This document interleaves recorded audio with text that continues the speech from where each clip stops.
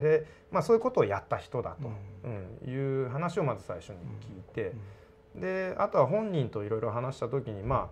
あ、あのポル・ポト時代のカンボジアからこうフィリピンとか、あのあの時期の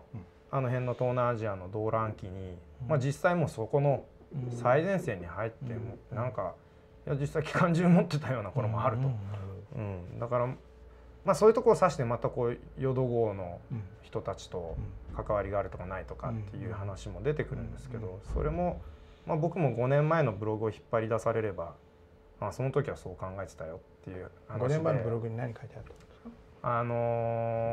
ーまあ、僕のメンバーが逮捕された時あるんですね、バンドのメンバーが。で、えー、その犯罪を擁護するという意味ではないんだけれども、まあ、やっぱり自分のメンバーなんで。うん、なんかいやそこまでのことかなっていうようなことを当時僕も未熟だったんでねそれがどういう余波を呼ぶかはよく考えずに書いたんですけど、まあ、そういうことをもってして今回立候補したらやっぱそこまでたどって引っ張り出してきて、いやこいつは犯罪を擁護してるやつだということでちょっとこう叩かれたことがあるんですよね。そ宮城さん本人の話だよね。そうです。ね、うん、彼の5年前じゃないんだ。そうです。だ僕もそういう経験があるように、まあ60何年も生きてれば、うん、あのー学生時代にが、うん、ね、うん、学生運動に携わってた仲間たちがその後三三五五いろんな方向へ行って、政治的な考えも異なっていく中で、その中の一部がまあ赤軍派になったりとか、左派って言ってもいっぱいあるじゃないですか。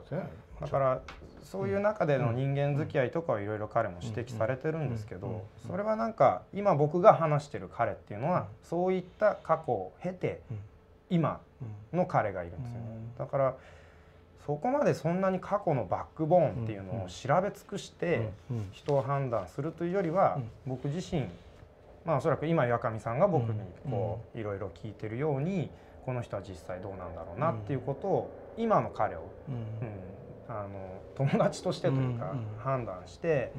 信用に至るなと思ったんですよね。今回の選挙に関しては。あのこの民主党のねえー、政権交代っていうのは非常に、えー、大きな、